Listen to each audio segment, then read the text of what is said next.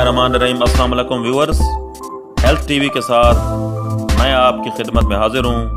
اگر آپ نے میرے چینل ہیلتھ ٹی وی کو ابھی تک سبسکرائب نہیں کیا، تو پلیز میرے چینل ہیلتھ ٹی وی کو ابھی سبسکرائب کریں. شکریہ. ویورز آج ہیلتھ ٹی وی آپ کے لیے جو ویڈیو لے کر آیا ہے، وہ ہے دو ایسی مفید سبزیاں جن کا اگر آپ استعمال کریں گے تو آپ آنتوں کے سرطان سے محفوظ رہیں گے اور یہ روز مرہ کی سبزیاں ہیں۔ لہسن اور پیاز۔ لہسن اور پیاز کا شمار سبزیوں میں کیا جاتا ہے، لیکن یہ مثالے کے طور پر تقریباً سارے کھانوں میں شامل کی جاتی ہیں۔ ان سے کھانوں میں ذائقہ اور لذت پیدا ہوتی ہے۔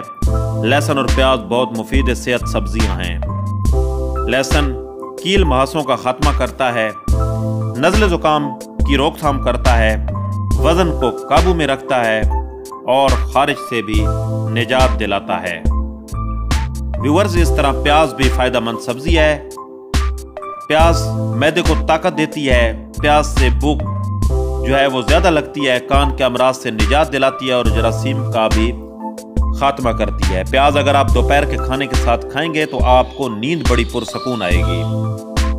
ویورز، بیجنگ کی چائنا میڈیکل یونیورسٹی میں کی گئی تحقیق کے مطابق یہ دونوں سبزیاں یعنی لہسن اور پیاز آنتوں کے سرطان سے نجات دلانے میں مؤثر ہے اس لیے کہ ان میں فلیویو نالز اور آرگینیو سلفر کے علاوہ دوسرے مفید اجزاء بھی پائے جاتے ہیں جو سرطانی خلیات سے مزاحمت کرتے ہیں۔ اس طرح ہری پیاز بھی مان سرطان سبزی ہے۔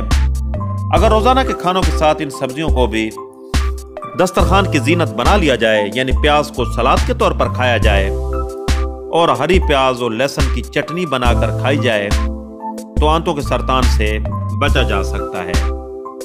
ویورز، آپ لہسن اور پیاز کا زیادہ سے زیادہ استعمال کریں کیونکہ ان دونوں سبزیاں جو ہیں ان کے بہت ہی زیادہ فوائد ہیں۔